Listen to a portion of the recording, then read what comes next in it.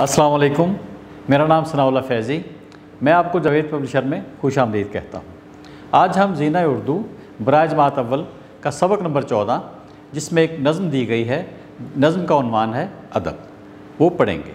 अदब हमारी शख्सियत का अहम पहलू है। अदब ही से हम दूसरे इंसान को फ़तह कर सकते हैं, उनके दिल जीत सकते हैं। जैसा कि अलामा इकबाल ने भी कहा, अदब पहला करीना है मोहब्बत के करीनों में। तो आइए हम इस्माइल मेठी की लिखी नज़म अदब पढ़ते हैं। काबिल एहतराम इस सबसे पहले मैं हासिलात तालुम आपके सामने पढ़ता हूँ। नंबर एक, आहंग और लय के हवाले से सादा मिसरे, अशार और नज़में सुनकर लुत्फ़ उठा सकें।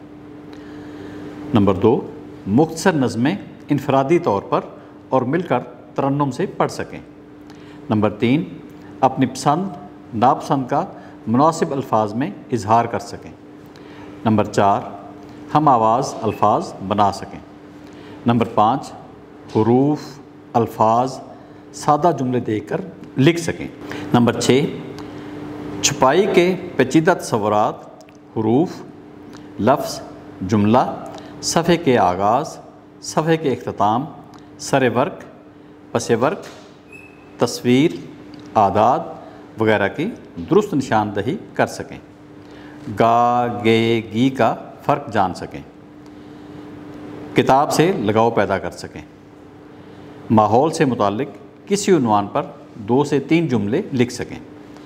किसी भी शख्स की गैर खलाकी हरकत व इशारात के बारे में वालदेन या इस को बता सकें। तो नज़म पढ़ने से पहले मैं नज़म में दिए गए मुश्किल अल्फाज आपके सामने पढ़ता।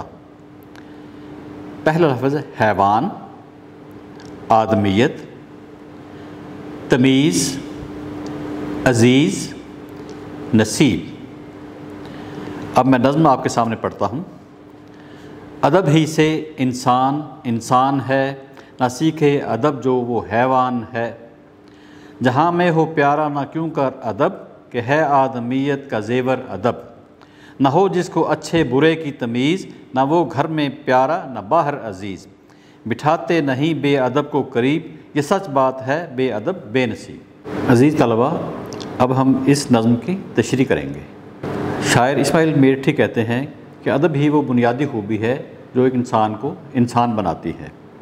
अगर किसी इंसान में ये खूबी नहीं है तो वो इंसान कहलाने का हकदार नहीं, बल्कि वो हैवान है।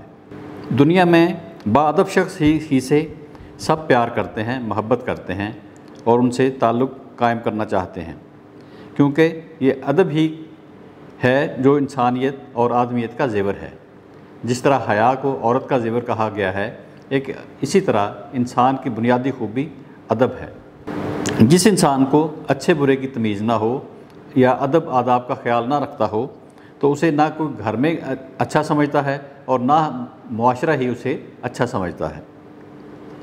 और ऐसे शख्स को कोई भी अपना दोस्त साथी बनाने के लिए पसंद नहीं करता। और ये सच बात है कि बेअदब, बेनसीब होता है और बादब बानसीब होता है। इसी बात को अलामा इकबाल ने अपने एक मिसरे में कहा है कि अदब पहला करीना है मोहब्बत के करीनों में। अब मैं मुश्किल अल्फाज के मानी आपके सामने पढ़ता हूँ। पहला लफ्ज़ है हैवान। इसका मानी जानवर या ये लफ्ज़ इंसान का मुतजाद है। दूसरा लफ्ज़ है तमीज़। इसका मानी है फ़र्क। अगला लफ्ज़ है आदमियत, जिसका मानी है इंसानियत। आखिरी लफ्ज़ है अज़ीज़, जिसका मानी है प्यारा।